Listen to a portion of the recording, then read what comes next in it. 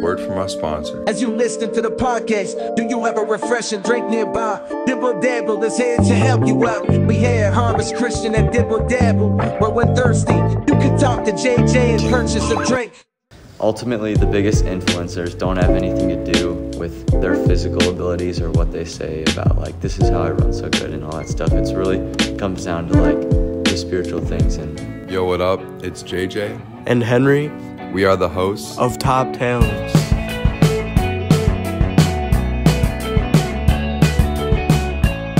What's up, guys? It's Top Towns here with JJ, Henry. and we got the star Daniel Winkelman. Hey guys, I'm Daniel Winkelman. I'm a senior at Harvest and I run cross country and track and field and I also play basketball. And you've been running at state since a freshman. You have crazy times like a 419 mile, 1442 three mile. Could you just tell us like what it's like to run at those state competitions and perform so well like that? Um, well, it definitely is a learning experience at the start because competing at like a state level is you're just with such a high level of competition that you don't experience being in a small school like this. Being in 1A, we don't compete against a lot of teams in general or a lot of competition. So competing at state is pretty intense, but as you become more experienced, it's easier and it's quite enjoyable competing at a high level and running in those big races. All right, well, as we all know, Daniel is committed to a D1 college named Lipscomb. Now, can you tell us why you picked Lips- Lipscomb and what are some of your favorite things about the school? Yeah, so going into my college search, I didn't have really any target schools. I'm one of the first people in my family to actually like go to college. Wow. And so there I had no previous connections, so I was really just doing my own research and I came across Lipscomb and they are a Christian school, but that wasn't like a plus in the beginning because I actually was really skeptical about it. I thought they were like an illegitimate Christian school. Um, but once I visited, that that changed. But really, one of the big pulls was their their coach was great. Talking to him, just hearing what his focuses were and what he and how he trained his athletes, that was really good. And the fact that they're a distance focused school is awesome because I'll get to jump in with a bunch of really high level distance guys. We'll all be like focused on the same types of things and it'll be really good to have that kind of team environment. Yeah, I, I, love the school. I love the location. The location is one of the biggest things. State of Tennessee is great. Tennessee. Yeah. Nashville is great. The city itself is it's not as dirty as like in Chicago. Mm-hmm. But also the specific location of the school is just outside of the city in kind of like a quiet neighborhood. So you can experience that like quiet feel and also the city feel at the same time. So that was that was another really big thing. Dude, that's sweet. Yeah, you get to like go down the city. You got a lot of, Yeah. There's a lot of Nice thing. opportunities down there also. yeah, that's awesome.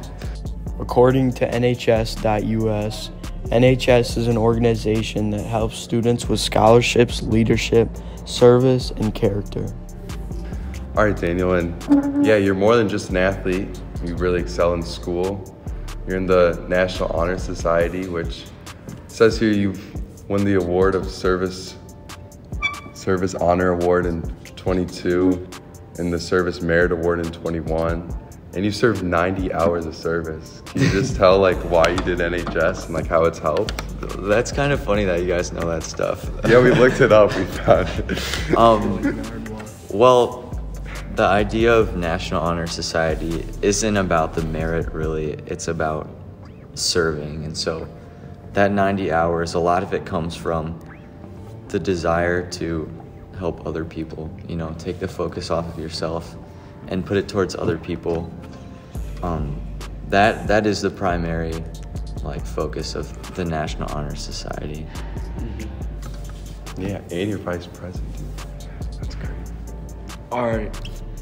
As a talented runner that finishes in high positions in races, you've had people like interview you And can you just tell us what that's about? Carson Vittorio is the IHSA reporter that interviewed Daniel Winkelman after the cross country sectional race. Yeah, so a lot of the times they just ask me about what was the game plan coming in, how's your training been going.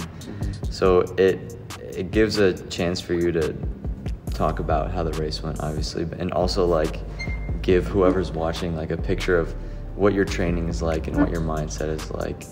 And they're really not all that that fancy. But Yeah. it, it does give you an opportunity to say something which is cool and it gives you an opportunity to be seen. So that that's those are good opportunities to take advantage of. You ever get nervous doing those? No, I don't get nervous because it's coming right off of a race and like immediately after a race and my mind is like thinking about the race and if they're interviewing you then you probably have had a good race. So mm. I'm just excited about the race and I'm excited to talk about it. Nice. So, I mean, obviously you're really good at running. You have like a main influence that would that like helps you get through each running session? You know, really, running is a lot about battling against yourself in your own mind. And I love running in general. I do love it. But of course, it's difficult. And it's difficult all the time. Uh-huh.